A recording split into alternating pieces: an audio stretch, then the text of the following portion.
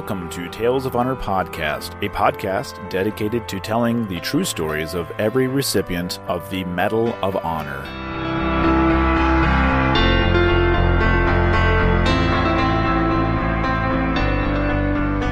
Hello, everyone, and welcome to another episode of Tales of Honor Podcast. I'm your host, Christoph Ambrosch, and today's episode is episode number 227. And if this is your first time hearing this podcast, welcome on board, and please be sure to subscribe wherever it is you're listening to be sure that you get new episodes every time they come out every Wednesday and Sunday.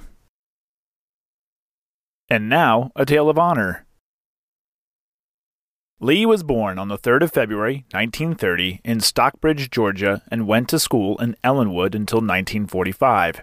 He went to work painting picture frames for the Georgia Art Supply Company of Atlanta for six months, and then went to the Davison Paxton department store for more than a year as a stock clerk. Just before his 18th birthday on the 17th of January, 1948, Lee enlisted in the U.S. Marine Corps Reserve and then transferred to active duty six months later. Lee went to and completed recruit training at Parris Island, South Carolina, and was promoted to private first class before being assigned to the 8th Marines, 2nd Marine Division at Camp Lejeune, North Carolina. The 8th Marines performed Caribbean maneuvers in February and March of 1949 and then maneuvers in the Mediterranean from May to September. He was later assigned to the 7th Marines, 1st Marine Division, in September of 1950 when they deployed to Korea.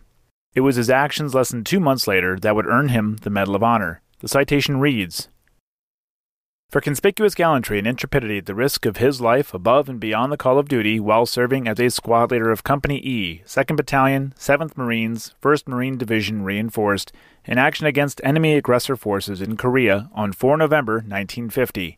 Assuming the point position in the attack against a strongly defended and well entrenched numerically superior enemy force occupying a vital hill position which had been unsuccessfully assaulted on five separate occasions by units of the Marine Corps and other friendly forces, Corporal Phillips fearlessly led his men in a bayonet charge up the precipitous slope under a deadly hail of hostile mortar, small arms, and machine gun fire.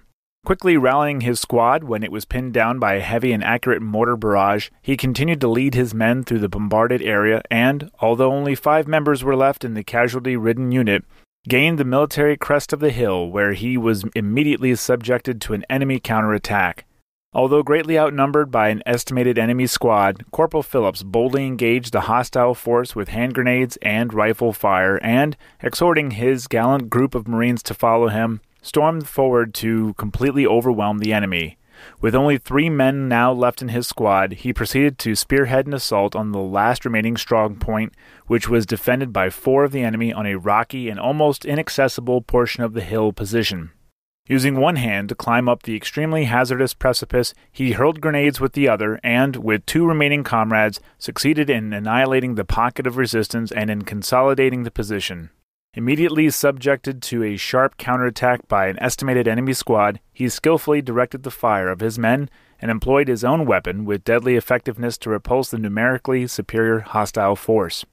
By his valiant leadership, indomitable fighting spirit, and resolute determination in the face of heavy odds, Corporal Phillips served to inspire all who observed him and was directly responsible for the destruction of the enemy stronghold. His great personal valor reflects the highest credit upon himself and enhances and sustains the finest traditions of the United States Naval Service. Lee survived the push toward the Chosin Reservoir but was killed in action during the Chosin Reservoir campaign on the 27th of November, 1950, at the age of 20, and his remains were not recovered. Three and a half years later, Lee's mother was presented his Medal of Honor on the 29th of March, 1954, by the Secretary of the Navy during a ceremony at the Pentagon. Lee Hugh Phillips has a cenotaph in the Marietta National Cemetery in Marietta, Georgia, section MB, grave 8. And that was a tale of honor.